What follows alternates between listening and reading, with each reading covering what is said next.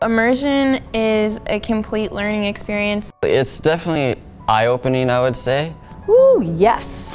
Yes, yes. It's just been uh, an area that I've seen significant impact, both during the week of and in the relationships built, but also the long impact that it seems to have on kids. It's about how do we do missions here that can be um, sitting with the elderly and playing bingo, or reaching out to refugees, or doing service projects. You experience the way other people live, you see what they have to deal with, and you just kind of touch base with people in a way that you typically don't do.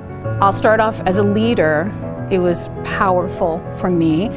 I guess you learn how like privileged you are to have all the things you do. It's like there's so many ways to show the community God's love. And it's just really stretching in that way.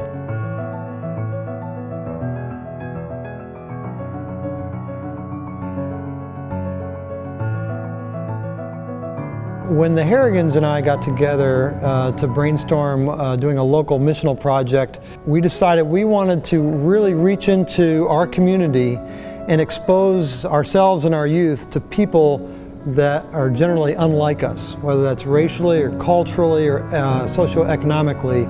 We want to immerse ourselves into the world that God loves, but we might not naturally spend time with. We traveled Thursday afternoon after doing ministry here in Fort Wayne took a caravan of vehicles into Gary. Gary is industrialized and rough and city, and we were going to a section on the outskirts of Gary, three blocks from Lake Michigan, bordering on the whole Dunes State Park. So we wanted to surprise them with the beauty of where we're going. And we wanted to take what we've been doing at Villages of Hanna with Chrissy Link and her missional community called J29. She also does that at an apartment complex in Gary. We were aware uh, that Gary has a long-term reputation or stereotype that isn't real positive. Every year at immersion, about three-fourths or four-fifths the way through as a leader, I get to this tipping point a little bit where I've got to get some alone time.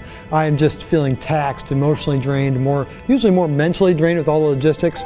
So everybody gets to the beach, all our groups are here, leaders are in place, and I take off for a run down the beach. When we got to Gary, we just went to the beach, Indiana Beach, and then we went to this place called Park Shore Commons, and we basically ate there, ate dinner, and then we had a long debrief. We came together, we'd had the ride to Gary, we were kind of what they call debriefing, talking about what we would be doing the next day. I looked at my watch and realized uh, Mark hasn't been back on his run for another 20 minutes or so, and 20, he went 20 minutes too long, and so I ran outside to look for him, and I saw police officers surrounding our vans. One of the vans got robbed. Mark was on a run during that time on the beach, and he came back, and right as he got back, they like saw him and then they scattered into the woods.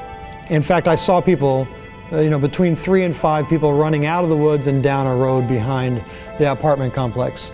And so I thought I just averted a robbery because I came upon that and people ran away and everything looked to be good until I saw a window missing in the back of the van. I heard someone say, uh, he, there's a problem right now uh, downstairs. One of the vans, um, you know, has been broken into, and the police are there.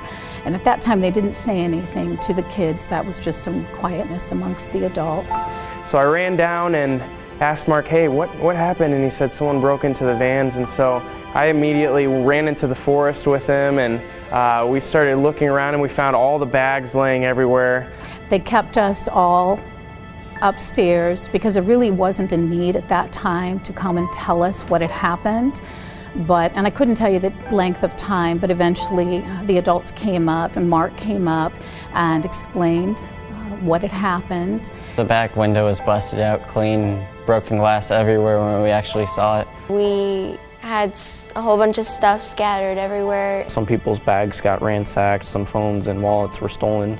I had $30 stolen all of my stuff was dumped out in the ground and then searching through my bag later finding some clothes that weren't even mine like what is this? All my stuff was in the van that was stolen and my book bag was stolen out of the van that night. And uh, it was pretty scary for some people. Me and my friends kind of huddled up in a little circle and we were crying but they were praying. The mood changed a bit. It became one where there was fear.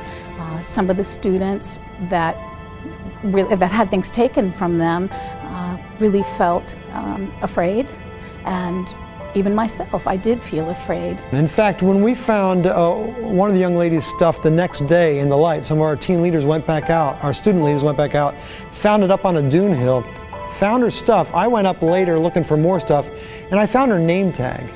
And it just struck me this thing where it's out in the middle of nowhere on this hill in the woods, somebody's name tag. It's like that's that person. It is such an unkind feeling of being violated. Like you, you do not matter and uh, I, I put it in my pocket because it does matter. And then all my stuff was dirty and like had been in the sand in the woods and so that was, yeah, it's just very weird. I just needed to uh, go out, get some fresh air because I had so much emotional tension inside of me. And instantly I just get out there and I just kind of fall to the ground crying, um, just letting out all this emotion and anger. When some of the students found out, man, it really, it really shook people up initially. And uh, I think there was, there was a voice that was kind of spoken over us. Uh, we felt from the enemy that was saying, hey, you're not wanted in Gary, and, and uh, it's dangerous here. And I, I, remember I was even hearing some of the whispers in my head, and I was just really wondering, hey, was this the right idea to, to go here or not? I had a really hard time with that. I actually went to Sheila Harrigan and Pastor Mark and told them both, as a mom, watching her and realizing that she's never experienced anything like this before and how crushing this is to realize the world isn't good. I wanted to take her and I wanted to leave. And I, I told him, I said, you need to talk me off of this ledge. I was one of the people who was probably the most freaked out. Um, I had a panic attack just from the van and then going to the place we were staying. And at the time I thought, oh, this is like, I'm sheltered, so this is why I'm freaking out. But really I think I realized like there is a like real life bad guy, like a true enemy out there and who wants to get us and so that freaked me out.